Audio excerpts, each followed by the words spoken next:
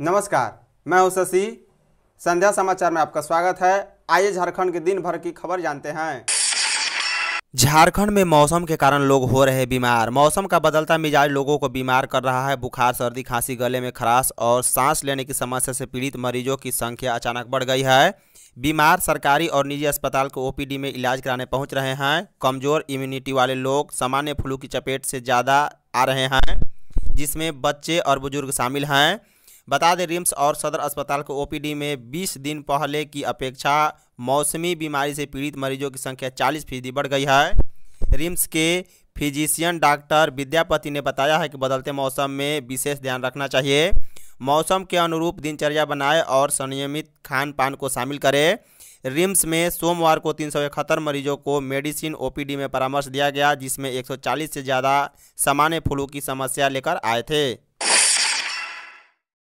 गुमला में तीन स्कूली छात्राओं की मौत। गुमला में तीन स्कूली छात्राओं की तालाब में डूबने से मौत हो गई। तीनों नहाने के लिए तालाब गई थी। मृतकों में बारह वर्षीय मोनिका कुमारी, नौ वर्षीय अनिमा कुमारी और सात वर्षीय सरोज कुमारी शामिल हैं। बता दें घटना गुमला थाना क्षेत्र के असनी नावाटोली गाँव की है। मंगलवार को महावीर जयंती को लेकर स्कूलों में छुट्टी थी। छुट्टी के दिन करीब दस बजे असनी नावाटोली की तीन स्कूली बच्चियाँ गाँव के ही तालाब में नहाने गई थी।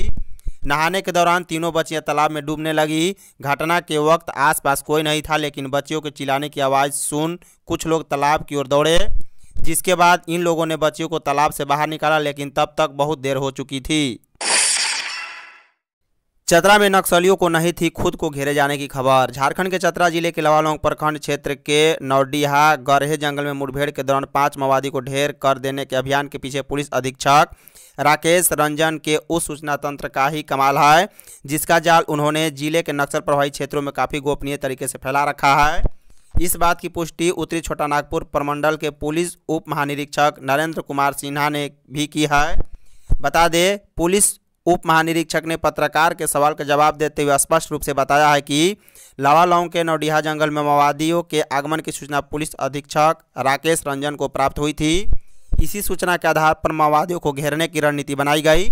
इस रणनीति में कोबरा बटालियन के जवान के साथ चतरा एवं पलामू जिला के पुलिस बल को भी शामिल किया गया। झारखंड में बिजली दरों में 20 प्रतिशत तक होगा इजाफा। झारखंड के बिजली उपभोक्ताओं को जल्द ही टैरिफ का झटका लगेगा। झारखंड राज्य बिजली वितरण निगम ने बिजली दरों में 20 प्रतिशत वृद्धि करने का प्रस्ताव राज्य विद्युत नियामक आयोग को सौंपा। इस पर आयोग ने सोमवार को पलामू प्रमंडल में जन सुनवाई शुरू कर दी है। मेदिनीनगर के दीनदयाल नगर भवन में पलामू प्रमंडल की जन सुनवाई हुई। इसमें पलामू, गढ़वा और लातेहार के उपभोक्ताओं और जनप्रतिनिधि शामिल थे।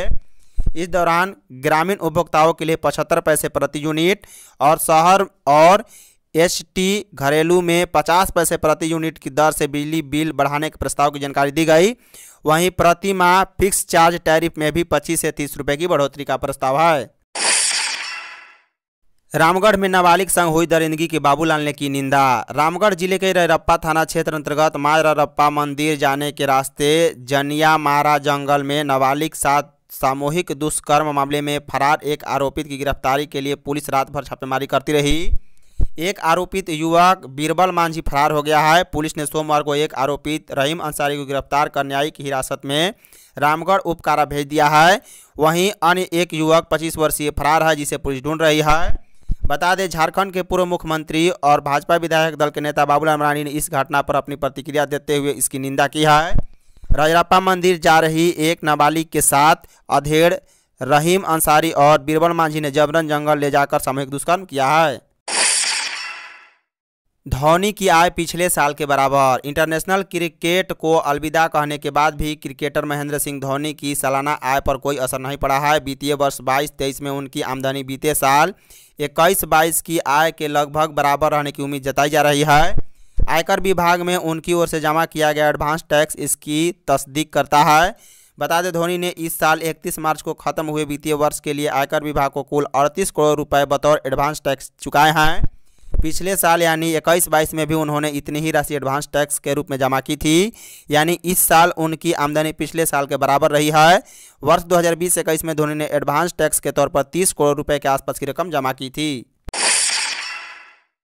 झारखंड भाजपा सांसदों का आज दिल्ली में होगा जुटान। झारखंड भाजपा हेमंत सरकार की नीतियों के विरोध में बृहद आंदोलन की तैयारी में है। इसको लेकर पार्टी के वरिष्ठ नेता लगातार बैठक कर आंदोलन की रणनीति बना रहे हैं। रांची में इसको लेकर सोमवार को बैठक हुई थी। वहीं आज दिल्ली में झारखंड के सभी सांसदों का जुटान होने जा रहा है, जिसमें आंदोलन की रूपरेखा तय की जाएगी और नेताओं को ज़िम्मेदारी सौंपी जाएगी।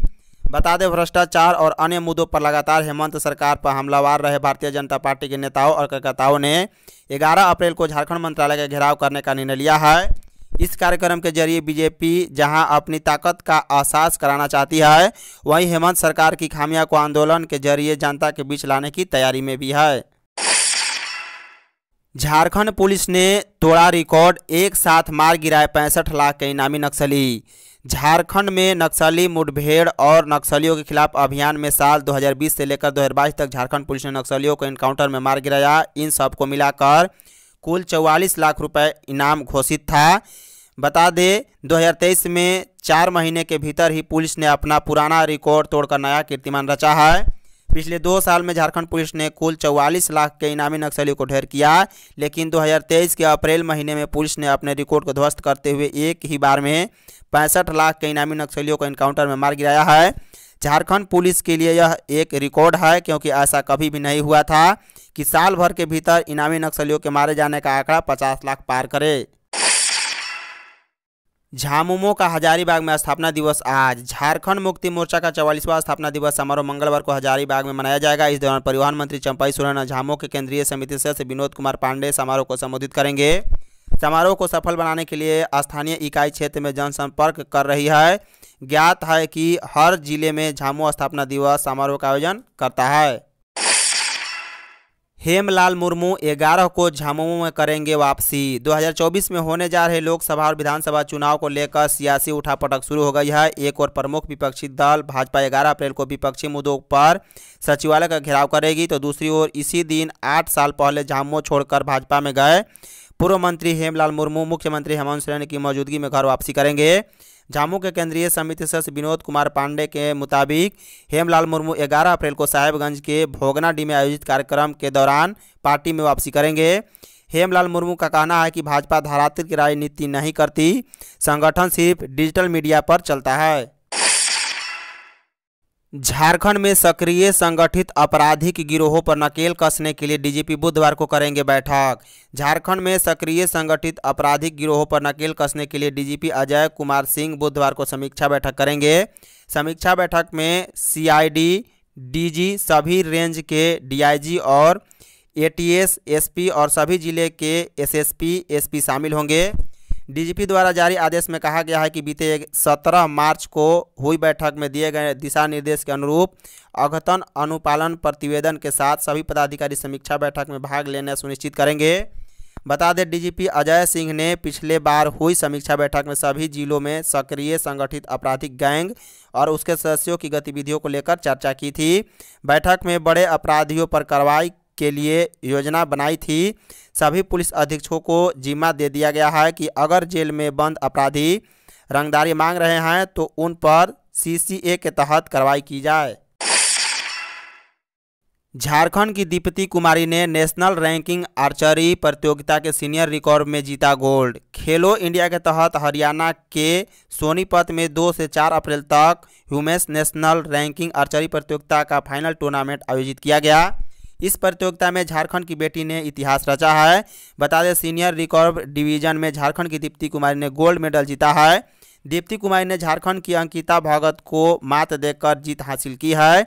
दीप्ति कुमारी को साई की ओर से पाँच लाख रुपए का प्रोत्साहन राशि देकर सम्मानित किया गया। इस जीत के बाद उसके कोच रोहित कोयरी एकेडमी की अध्यक्षता नेहा महतो, आर्चरी कोच प्रकाश राम समेत खेल पदाधिकारियों ने बधाई दी है। झारखंड कांग्रेस का जय भारत सत्याग्रह आज से। राहुल गांधी के सदस्यता जाने के बाद कांग्रेस केंद्र सरकार पर हमलावार है। पार्टी के नेता लगातार भाजपा पर तानाशाही का आरोप लगा रही है और इसके विरोध में झारखंड कांग्रेस आज से जय भारत सत्याग्रह यात्रा कार्यक्रम अभियान चलाने जा रही है। इसकी शुरुआत राजधानी रांची से शाम साढ़े पाँच बजे लोकतंत्र बचाओ मसाल शांति मार्च के ज़रिए किया जा रहा है। जो स्थानीय जिला स्कूल प्रांगण स्थित शहीद स्थल से आरंभ होकर कचहरी चौक होते हुए राजभवन तक जाएगा। इस कार्यक्रम में झारखंड प्रदेश कांग्रेस कमेटी के प्रभारी आदरणीय श्री अविनाश पांडे, प्रदेश अध्यक्ष आदरणीय श्री राजेश ठाकुर समेत प्रदेश कांग्रेस के तमाम वरिष्ठ नेतागण शामिल रहेंगे। एचईसी कर्मियों के दो माह का वेतन भुगतान। एचईसी कर्मियों को सोमवार को एक साथ दो महीने के वेतन का भुगतान प्रबंधन की ओर से किया गया। वहीं वेतन भुगतान होने पर एचईसी ऑफिसर्स एसोसिएशन के अध्यक्ष प्रेम शंकर पासवान ने हर्ष व्यक्त करते हुए कहा है कि प्रबंधन ने पिछले दिनों सांसद संजय सेठ व भाजपा नेता विजय जायसवाल के साथ हुई बैठक में दिए गए आश्वासन को पूरा किया। वेतन मिलने से कर्मियों का उत्साह बढ़ेगा और चालू वित्तीय वर्ष में कंपनी नई ऊंचाई पर पहुंचेगी। उन्होंने कहा है कि कार्य देश की कमी नहीं है, कच्चे माल की आपूर्ति होने से एच का उत्पादन बढ़ेगा। धन्यवाद। यदि आप चैनल पर नए हैं तो चैनल को सब्सक्राइब कर बॉल का बेल आइकन दबाइए, साथ ही साथ वीडियो को एक लाइक कर अपने दोस्तों के साथ शेयर करना भूले। साथ ही साथ आप हमें कमेंट बॉक्स में अपना फीडबैक अवश्य दें। Thank you.